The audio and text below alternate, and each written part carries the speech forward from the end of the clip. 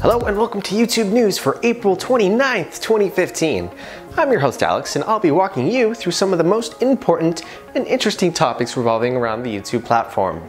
First up, Google recently revealed its earnings for the first quarter of 2015.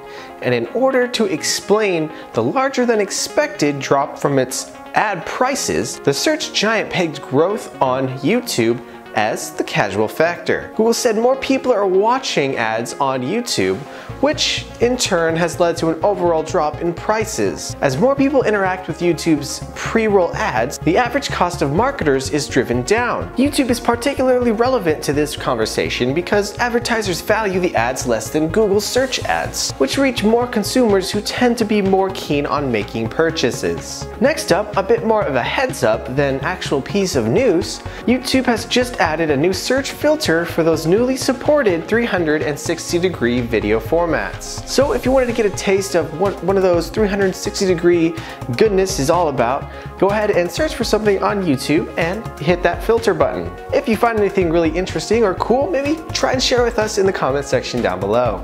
And last up, Facebook is making strides in the online video market. It has just been reported that Facebook receives 4 billion video views per day and 75% of those views are on mobile. Now while this is very impressive, I can't help but think that these numbers are kind of inflated due to videos autoplaying on Facebook. But maybe that's just me.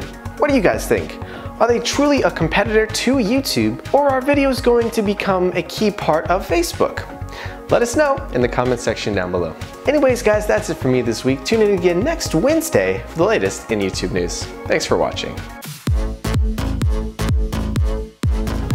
Last up, for those of you who want to know what's going on at the YouTube Spaces, Arnold Schwarzenegger paid a visit to the YouTube Space LA to film some Terminator videos with a few YouTube stars. These stars your secrets. If you really look at yourself, you would be speechless. What happened to being doctors and teachers? What happened to being your brother's keeper? Nowadays, kids more worried.